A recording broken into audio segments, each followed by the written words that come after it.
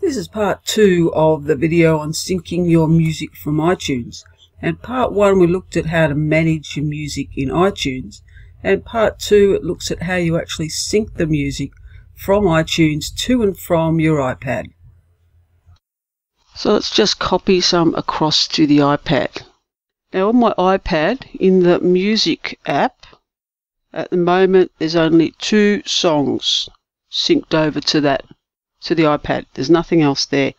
I can look at my music by playlists, by song, by artist, by album, and I can look at audiobooks and genres of music and uh, sorting by artist. So the only way to sort your music on the iPad is by artist or by song. So at the moment it's sorting by song. So if we went back to song, it's sorting by song. The, the D is coming before the O. If I change that to sort by artist, it's moved to the Chris She coming first, so first name, then surname, and then the, the Walt Ribeiro. So there's only a couple of songs on there. There's also a setting under settings for music before you start. You make sure iTunes matches off if you are subscribed to iTunes Match. And group by album and artist is on. And then you can decide you want the volume to have a limit.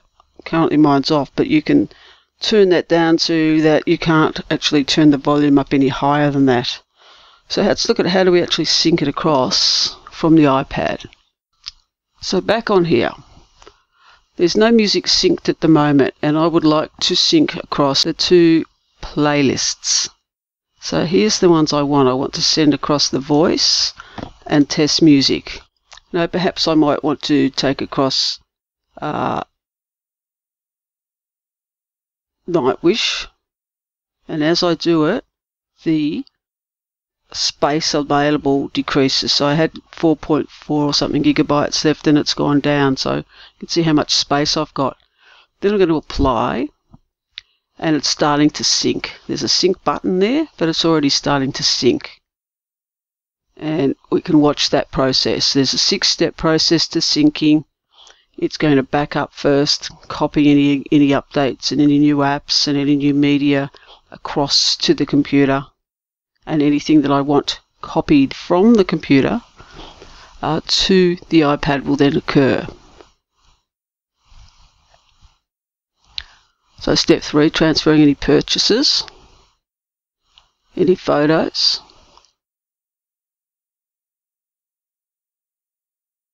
and now it's copying the songs. 41 songs in those playlists.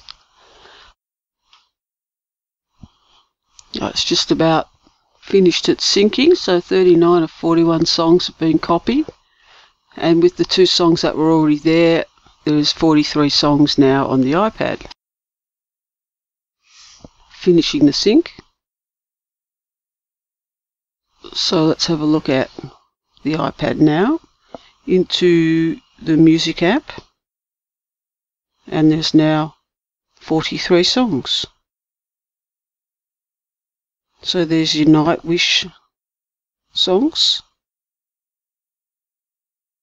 And if I look at it by playlist, I can see the specific playlist that I copied across. I've got iPad playlists. Because they're in a folder, the folder is selected. There's 63 songs in the in the folder. So if I tap into there, I have the two folders. There's the voice one and the test music one. So it's easier to find things by playlists if you only want specific songs. If you're happy enough to play them all, just switch to the songs uh, tab and play. The songs are organised by artist. You can see Andre Rieu, so first names first, so it's not terribly useful by artist.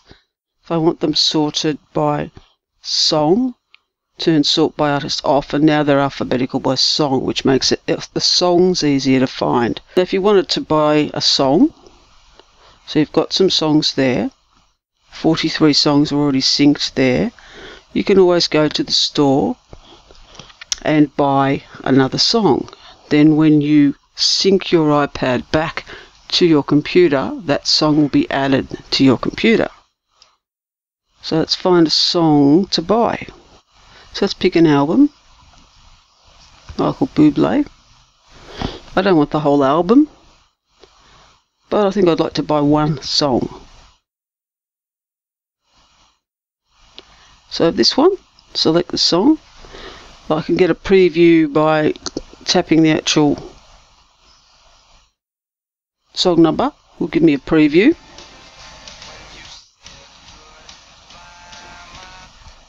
So if we're going to buy that, buy the song, and that song is downloading to my iPad.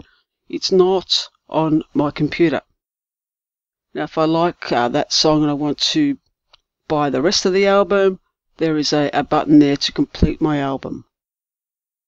I can tap that one, the 1280, and buy the rest of the album, which I don't want to do. So that song is downloading, or may already have downloaded. So go back to uh, the music app and look for that song. And it's called It's a Beautiful Day. There it is there, Michael Bublé. So that's the song I've just downloaded. Now, when I want that song to be synced back to my computer, I have to go back to iTunes on the computer and copy anything new from the iPad back to the computer. So back into selecting your device and sync and we're looking up the top to see what actually comes across. So it's transferring the purchases. So anything I've just purchased from the App Store or the iTunes Store will be copied across from the iPad back to my computer and stored in the music library. Determining the apps, so there hasn't been any new apps or photos.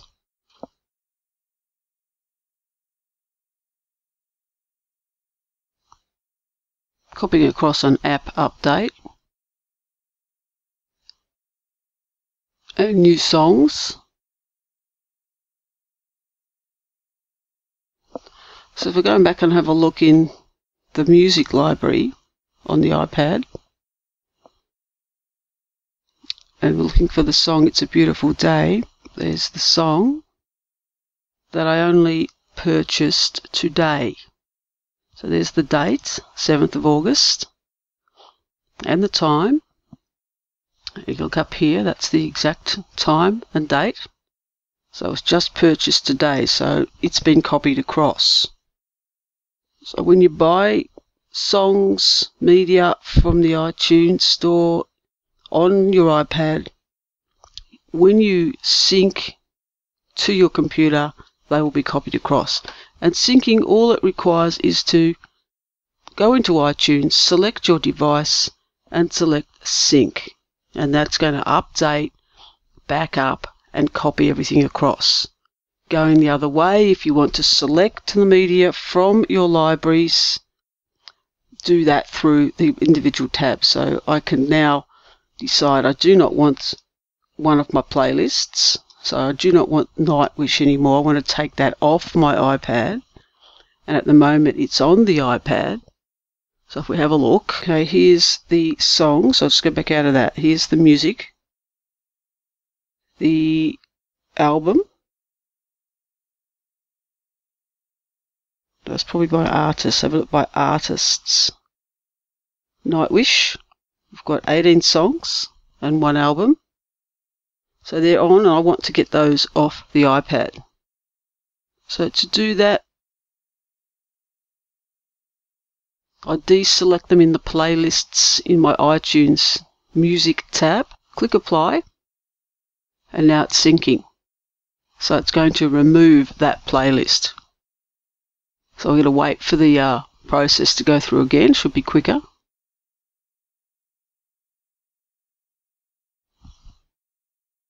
And go back to the iPad, go back out of the music tab, go back in,